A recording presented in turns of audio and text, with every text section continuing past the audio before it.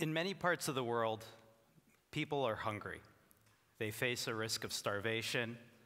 This is food insecurity, the lack of access to sufficient calories, protein, vitamins, and minerals. In some parts of the world, the semi arid tropics, there is, on average, adequate rainfall to support the kinds of crops that will provide adequate nutrition. But that average is just that it's an average. Some years it can be far too wet, like recent floods in Pakistan and elsewhere. And in other years, so dry that crops wither and die. Either extreme can lead to hunger, starvation.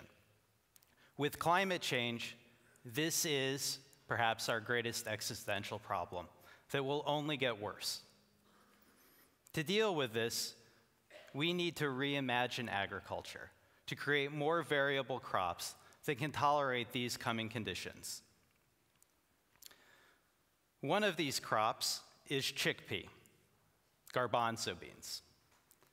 It is particularly sensitive to both too much water and too little.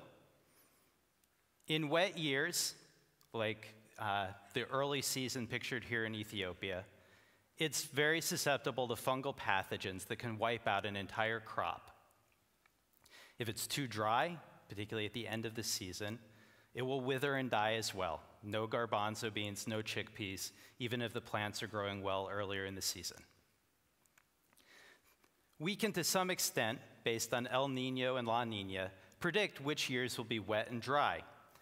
If we can design more variable crops, we can provide farmers in the most food insecure parts of the world with crops adapted to the years and the kinds of climates that they're going to face. Yet, the entire history of agriculture goes against this. Since the first farmers 8,000 years ago, we've been reducing the amount of diversity in our crops.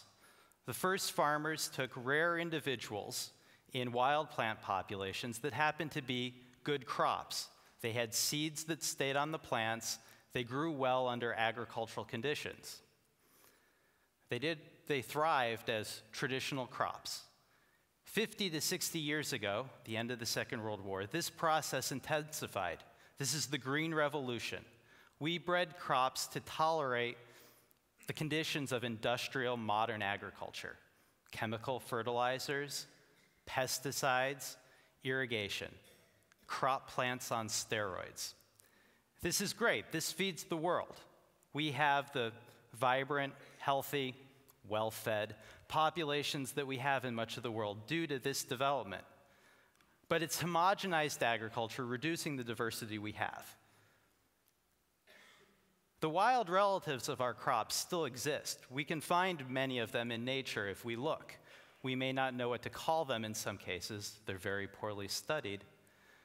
If we can bring them back, we can reimagine agriculture. So I've pictured here a crop chickpea and its wild relative from neighboring fields in southeastern Turkey. The crop, it's a good crop. It has good yields, it tastes good. It grows well under agricultural conditions, has big, juicy seeds. This wild relative, however, has great traits too. It's stress tolerant, it's resistant to diseases, it can be chewed on by cattle, sheep, even voracious caterpillars. It's disease resistant, but it has a low yield and relatively poor taste. We'd like the traits of both in our uh, in the crops that we need to face climate change. To do this, we want to capture the traits of this wild chickpea. It's growing in a rock crevice at the top of a mountain, in no soil, almost no water.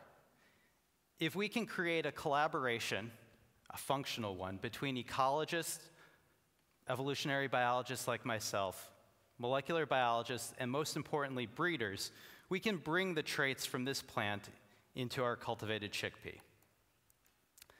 The first step in this collaboration is to systematically and thorough, thoroughly collect the wild relatives of our crop plants. For over 100 years, since at least the time of Darwin, we've known of the wild relatives of our crop plants. But many breeders are hesitant to use them, primarily for the poor agricultural traits that they have. Furthermore, the collections that we have of them haven't been made with ecological principles in mind.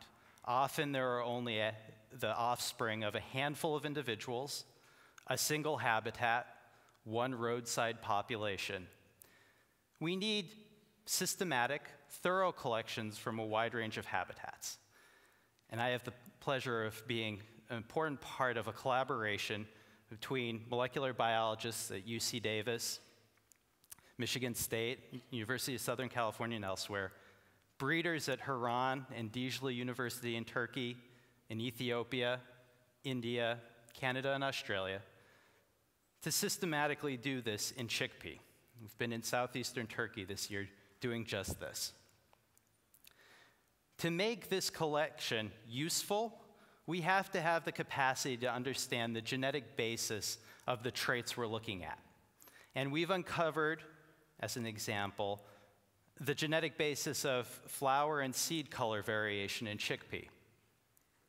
Wild chickpea and some traditional varieties from India, Ethiopia, and, and Turkey have a dark purple color in, in their flower and their seed coat.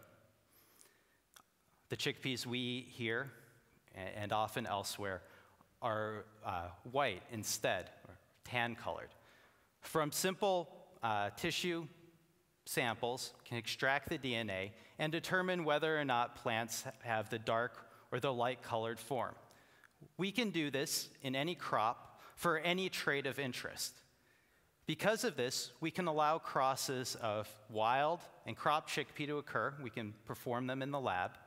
We can collect the offspring, and we can screen for the, the offspring that have the traits we need the stress tolerance of the wild chickpeas and the good agricultural traits of crop chickpeas. In doing this, we can create a variable agricultural system that has the seed traits that consumers in different parts of the world crave. We eat different chickpeas here in the West than are often consumed in Ethiopia, India, and elsewhere, but also the stress tolerance that's needed in the face of climate change. It's important that we do this now because these wild crop relatives are under immediate threats. In southeastern Turkey, where 30 years of civil unrest and rapid development have led to mining, damming, road building, and agricultural intensification, these populations are rapidly disappearing. And it's not just chickpea, it's wheat, barley, peas, lentils. Wild relatives of all of our major crops are under immediate threat. We've lost already part of one of the 25 populations we've collected, and we'll lose several more from development in the next several years. If we don't act now to protect these wild relatives, both systematically bring them into breeding programs, as we're doing, and protect them in the wild, they'll be gone. If we succeed at this, we will have the capacity to provide farmers with climate resilient, stress tolerant plants that will thrive under the challenging conditions we expect from climate change, as well as variable crops that appeal to the tastes of consumers in local markets. And importantly, we'll lay the basis for the kinds of collaborations between breeders, ecologists, and evolutionary biologists and molecular biologists that we need to pull this off. Thank you very much for your attention.